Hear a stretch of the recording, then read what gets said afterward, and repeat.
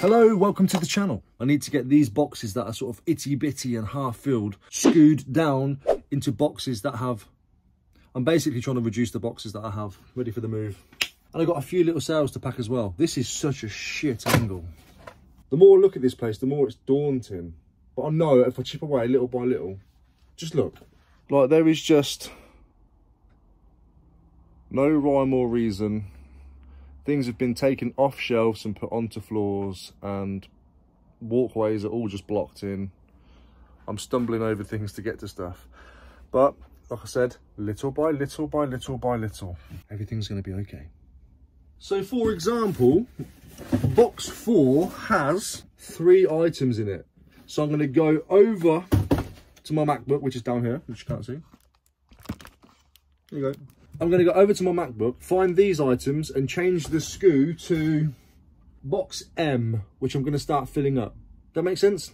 So then I can get rid of box four and so on and so on until box M is filled and hopefully I'll be able to condense a few boxes there and then just move on to the next one. You know what I mean. You know what. You know what I mean. I'll show you how easy it is. So there's my box four. Just edit box M because that's where it's going. Done. Same again. I've already done the top one. And there we go. Those four items can now just go into here and then box four is done with. Whether you're moving offices or not, I think it's good practice every now and then, once every few months, every six months, at least every year, at least go through your boxes, see which ones are like just got scraps in them and just screw them down. Put them into boxes and fill the other boxes up. I don't know. I just think that's good practice. It really helps with inventory. Like I know I'm not teaching you anything new, just, just a reminder, just a gentle reminder. At the risk of overcrowding this box, we're going to leave this one for now. But look what I've just pulled off the shelves. One, two, three, four boxes that are all empty, all into one, because they all had like just little bits and pieces at the bottom. Now, like I said, I'm doing this because I'm moving, so I'm trying to make my move and my reorganisation as easy as possible.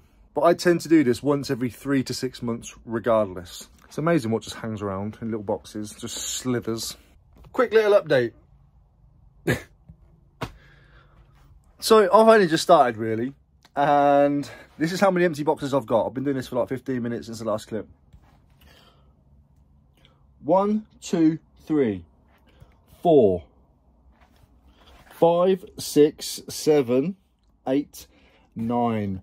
Nine empty boxes now because they all had just little bits in, condensed into a, another box. And I haven't even finished yet. So the plan today is to try and get this shelf here clear so I can take that home, move all that across. I've got to do some packing as well. I've had a few sales I'm going to go through in just a moment as well. I'm just getting all the boring stuff out of the way first. But yeah, making some good progress. Some good progress regarding the down screwing.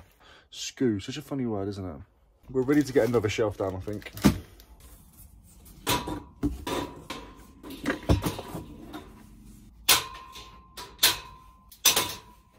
Same again, I want to try and keep this ladder section in one piece. Just to make it easier when I get back to the garage.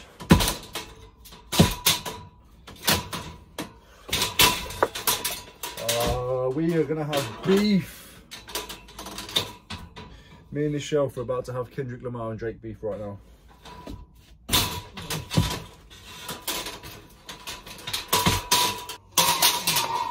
By the way, I have found so many items that have just fallen off my store.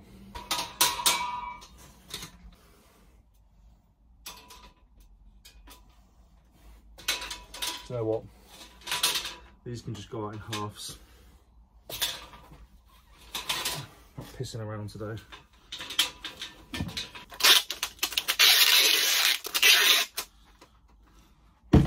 And there we have it, one more shelf down. What's up, brother? So little by little by little by little, I've reduced some boxes and I've reduced the shelf. Let's get into some sales. I've no way of getting through. I've blocked myself off completely. This is what I don't want to happen. This is why I'm trying to sort it out little by little by little right now so that once I get into the garage, I haven't got to live like this. Does that make sense? I'll just get it set up perfectly as I want, as I'm going along. I love a killing spree documentary. I am roasting again. Look at me, I'm all weathered. But I'm not going to ship off naked this time because I'm going to be, I'm not going to be here long. Just gonna get these few done and then go from there. The Panasonic I've got that I need to pick up from yesterday. So I'll do that quickly and then I'll come straight back to you babies. Oh God. I've already done two, but I'm gonna do the other two in the same process. Just taking the bubble wrap, keeping it tight. One in the front, two in the front. And that's it, and then I'm gonna find a nice little box for them.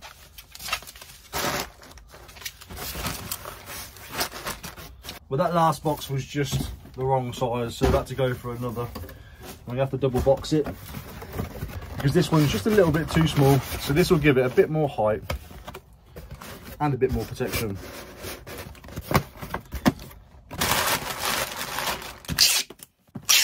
I can't wait to get out of this room. It's honestly like somebody's got the radiator on. It's ridiculous. It's like a greenhouse. Low noise.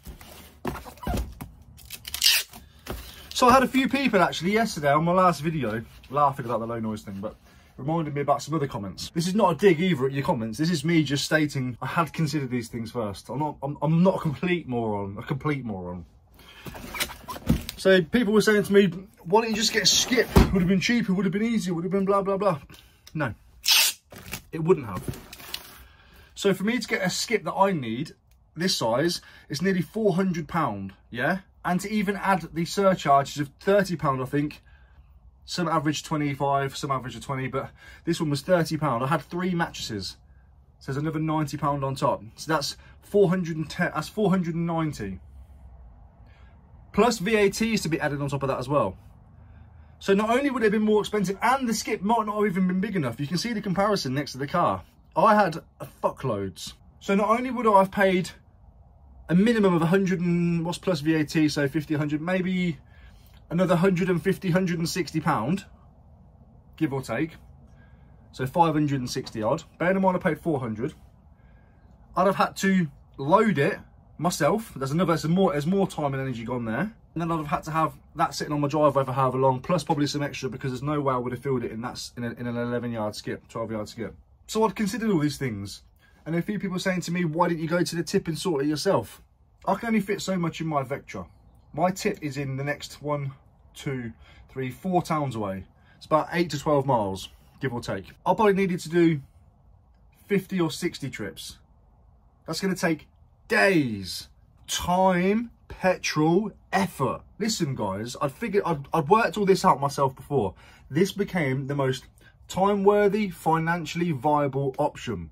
I sat back, a man came in in one day, an hour and a half, if that was all done by, filled it all up, took it all away, 400 pound. So it's cheaper, I didn't have to do anything, and it was done quick. Come on, give your boy a little bit of credit. You've got to have some faith in me, really. You just got to have that faith. I can't even do any more packing. I'm just going to do this one and then get out of here because I'm I'm roasting. I'm absolutely roasting. It's like a greenhouse. I can't cope. Oh, shit. I just underpaid for something. Bollocks. Ah, fuck. I wasn't concentrating. It's supposed to be two to five. Oh, well. I'll get a bill for that soon. That is all I'm doing. I'm getting out of here. Look. Look at me. Glistening mess.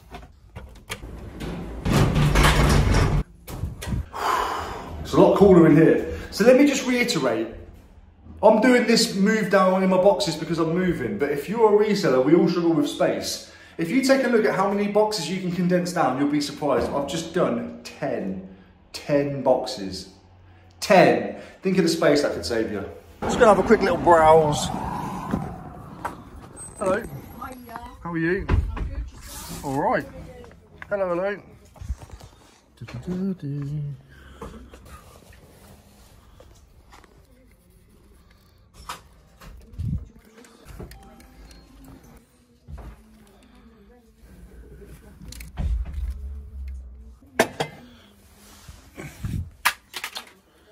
Standard. Just dropping everything. Yeah, I'm alright, apart from just dropping my life everywhere. Scattering it around all the sh all the floors.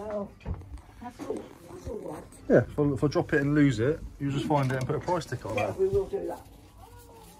Don't worry, it'll be looked after.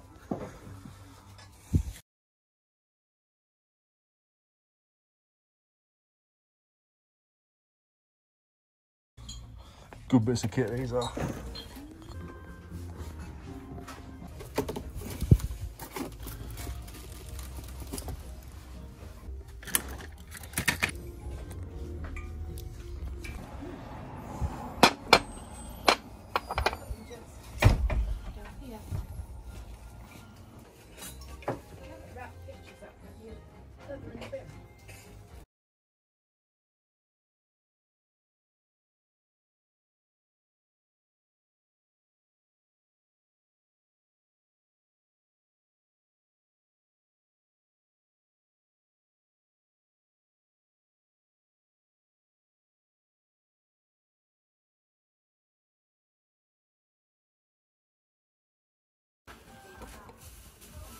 So how long have you been here, here then?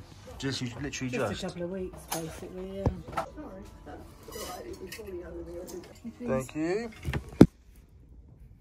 I spent too much time in there and not enough money. But I did pick up some good bits.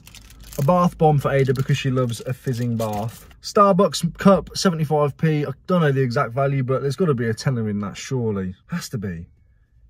Doesn't feel like one of their really strong ones, but maybe a tenner. Maybe I have to hold on to that till Christmas, who knows. A uh, Fitbit, which I've got charging. I think it's a genuine Fitbit. I'm not too sure, but it was £4.50. Again, there's an easy double up there on Vinted. And some sea salt wedge shoes. People keep messaging me. For £6.50. Probably 19.99, 24.99, something like that. Because they're in fantastic, almost immaculate condition. Spent £12.50 in total, something like that.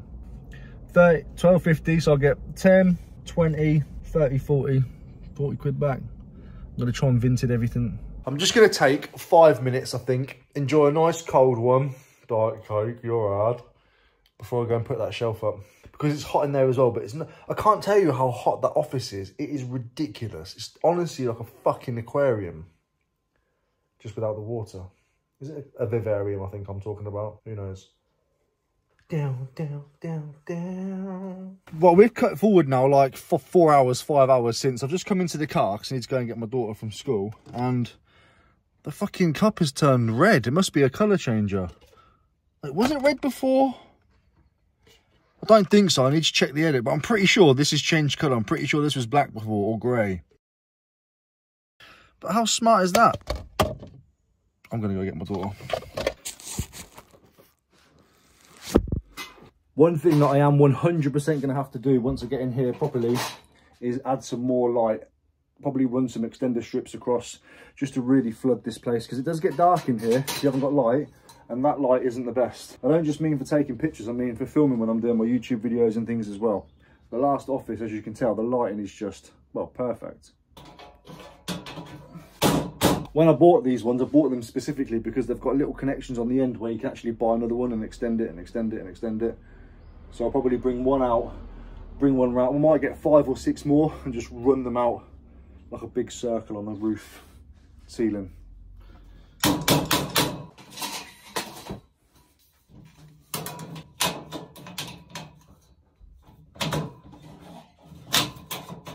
I'm not moving again now unless it's for a multi-million pound future or something like that. I moved for the consignment because I wasn't able to absorb it in this place. So it was, it was the right move at the right time. But I'm not going to move again now unless I've got something solid in place and the place is just perfect. Or in that time, we are looking to move in the next couple of years. So obviously that will all be factored into when we look at the new place as well. So who knows. Well, I'm going to crack on with this. I'm not going to waste your time. Again, I don't know what the video is going to be like, even if I'm going to release it. I really appreciate you dropping by, and I'll see you on the next one. Take care. Ta-da. I don't want to do anymore. Yo, do it. Come on, let's do it.